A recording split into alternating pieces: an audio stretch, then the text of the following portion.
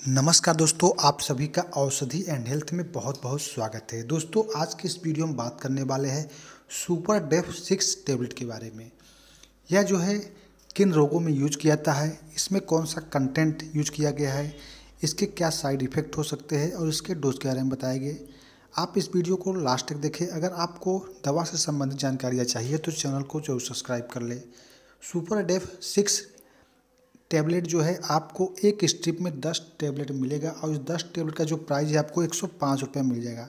ये दवा आपको सभी मेडिकल स्टोर पे बहुत ही आसानी से मिल जाएगी। इसमें जो है, टेफ्लाजा कार्ड सिक्स एमजी मिला हुआ है। यह क्वालिटी को स्ट्राइड दवा है। यह जो है, किन रोगों में यूज़ किया जाता है, उसके बारे में जान लेते हैं। गंभीर एलर्जी, अस्थमा, त्वचा से संबंधित रोग, त्वचा पे खुजली हो जाना, जलन, सूजन फंगल इन्फेक्शन आर्टिकेरिया अर्थराइटिस जैसी समस्या, गठिया रोग, इन सब बीमारियों में इसका यूज़ किया जाता है। दोस्तों, इस दवा के डोज के लिए आप अपने डॉक्टर से सलाह लेने के बाद इस दवा का सेवन करें। डॉक्टर, आपके रोग की स्थिति, आपका एज और वेट के अनुसार ही आपको दवा का डोज देंगे। दोस्तों, छोटे बच्चों के लिए जो है सस्पेंशन आता है। छोटे बच्चों को सस्पेंशन देना है और बड़ों के लिए जो है टेबलेट के फॉर्म में आता है।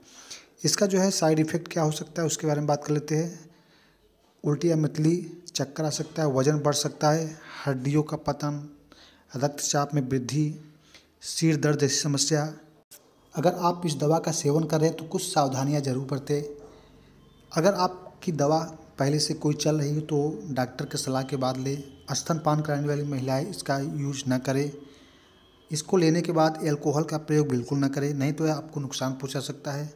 दोस्तों, अगर आपको इसे लेने से कोई भी साइड इफ़ेक्ट नज़र आए तो आप अपने डॉक्टर से ज़रूर संपर्क करें। यह जानकारी आपको अच्छी लगी हो तो लाइक करें शेयर करें कमेंट करें और बेल आइकान को ज़रूर दबा दें।